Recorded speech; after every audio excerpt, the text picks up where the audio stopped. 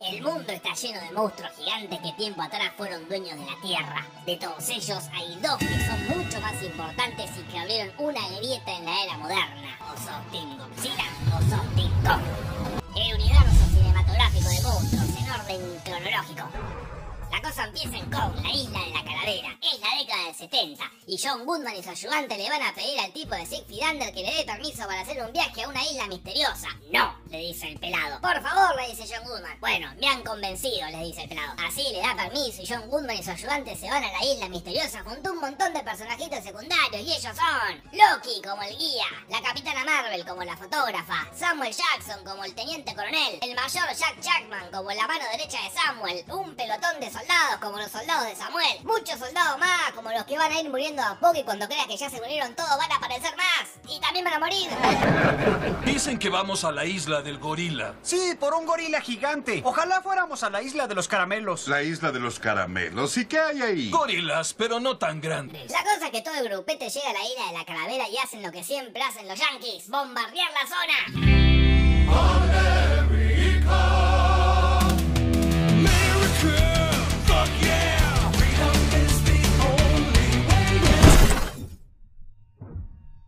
La fiesta del bombardeo se corta al toque cuando aparece el rey de la isla, que es nada más ni nada menos ni nada más que King Kong. Monkey? Es el pináculo de su evolución. Ay, él está recaliente, imagínate, le bombardearon la casa y los mata.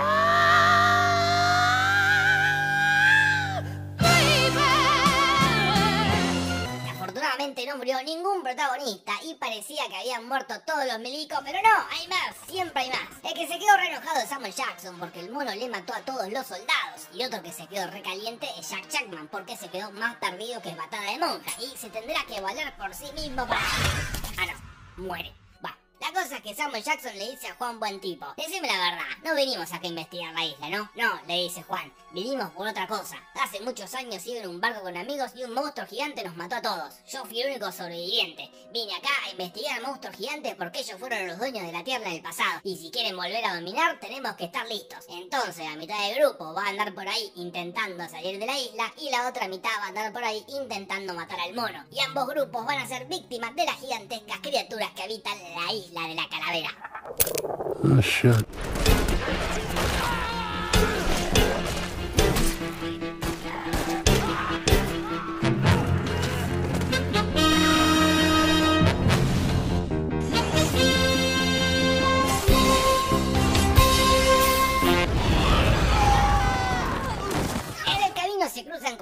Cellophane, que está perdido en esa isla hace como 30 años. Él les dice que el malo de la isla no es King Kong. Él es bueno, el que defiende a los nativos del verdadero villano, este lagarto gigante. Entonces, cuando aparece, solo King Kong podrá derrotarlo en la batalla final de la película.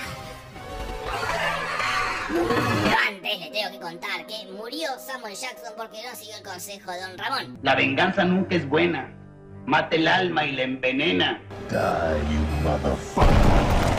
También muere este milico porque se quiso ser el héroe y no pudo.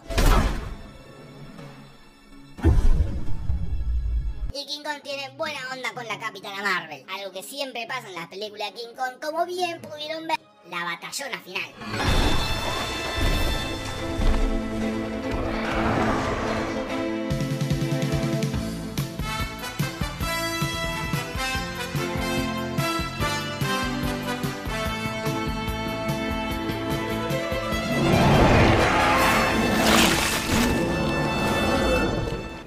All safe. Los pocos que sobreviven salen de la isla y después se llevan a Loki y a la Capitana Marvel a unas oficinas para mostrarles la gran revelación. Hay más monstruos gigantes. A la pelota. Entonces la cosa sigue en Godzilla, la del 2014. 1999, Japón. Walter White trabaja en una planta de energía nuclear con su esposa.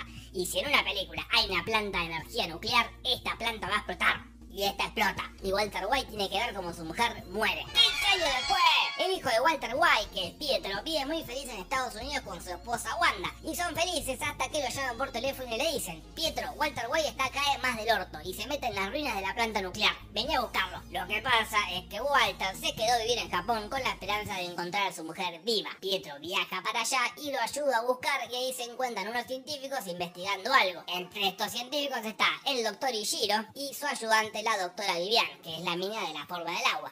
Cuestión que lo que están investigando ahí es un monstruo gigante que es nada más ni nada menos ni nada más que... That's disappointing. Bueno, no, no es Godzilla, es Muto, un murciélago gigante que quiere encontrar una hembra para paliarse. Ahí mata a mucha gente. También mata a Walter White. Adiós, Brian Cranston. Siempre te recordaremos por Breaking Bad. Jamás por esta película. ¿Cómo te desperdiciaron? You're goddamn right. La cosa es que Muto va por ahí rompiendo todo y la gente no sabe qué hacer.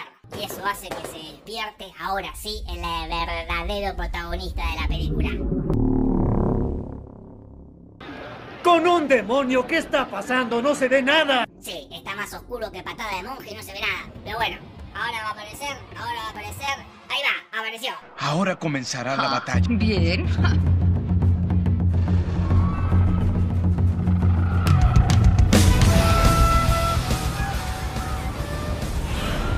Pero, por supuesto, se va a tomar su tiempo. Igual acá no pelean, para eso falta. En el medio hay un montón de conflictos con Pietro que quiere volver a la casa, con Wanda que está en el hospital, con Wanda que quiere dejar el hijo con otra señora, en fin. Ahora sí, la batalla final entre Godzilla y. Por fin los dos pelearán con toda su fuerza. Es una super pelea.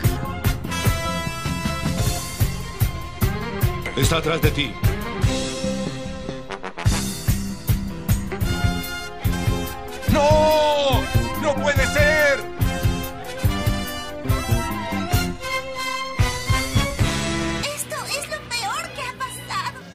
Godzilla pierde. No puede contra dos mutos.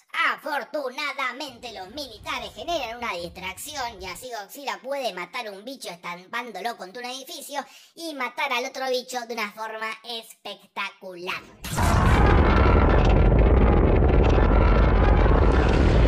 De esta manera el mundo se salva, Pietro y Wanda se reencuentran, aunque al pedo porque no vuelven a aparecer en las próximas películas, y Godzilla se convierte en el salvador del planeta, algo no muy común en sus películas porque casi siempre es el malo.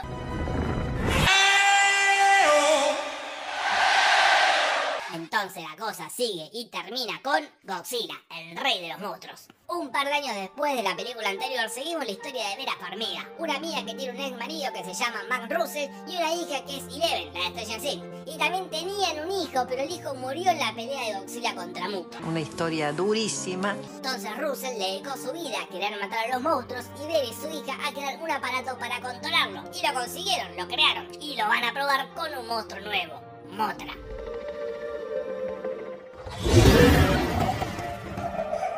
No es gracioso, te puede contagiar miles de enfermedades milenarias. Yo no me reiría, seguiría el consejo de Tendremos que ser sumamente cuidadosos todo el tiempo. La cosa es que justo ahí aparece Twin Lannister, que es un ecoterrorista que quiere dejar vivir a los monstruos para que siga el curso natural de la Tierra. Entonces se lleva el aparatito y secuestra a Vera y a Eleven. Entonces el mundo se divide en dos, los que quieren matar a los monstruos y los que quieren que vivan. De todas formas, poco importan los conflictos de los seres humanos cuando hay monstruos, porque acá aparece el mejor monstruo de toda la franquicia, el gran Ghidorah, un bicho de tres cabezas que tira rayos por la boca y se regenera. También puede flotar en el aire. Ah, sí, y también vuela, hace todo Ghidorah. Qué pena que Godzilla ya no huele como en otras películas, ¿eh?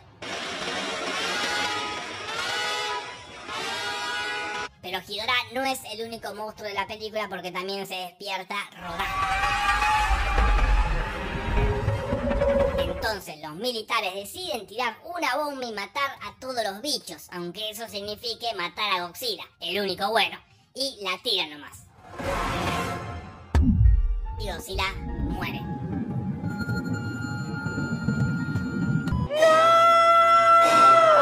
Adiós Godzilla, siempre te recordaremos por la vez que bailaste.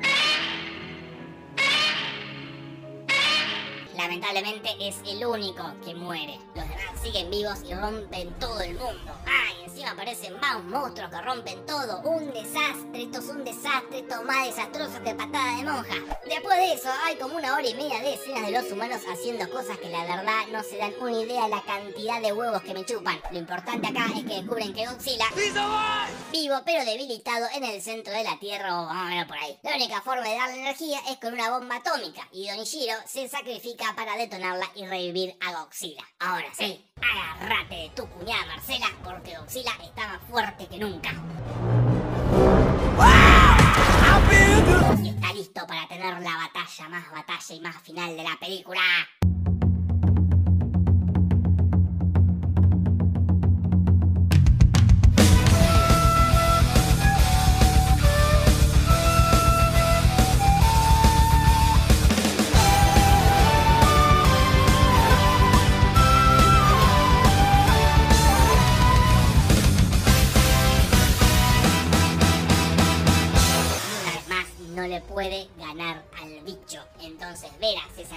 Para distraer a Ghidorah, así Godzilla junta energía. ¡Ay!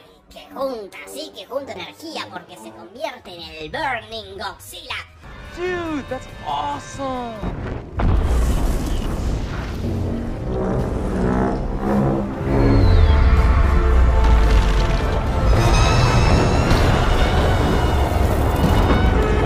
Uno menos. Este no jode más. Después se lo morfa de un bocado y pim pam pum. Now we're all safe. El resto de los monstruos, intimidados ante lo que acaban de ver, se arrodillan ante Godzilla porque él es el rey de reyes.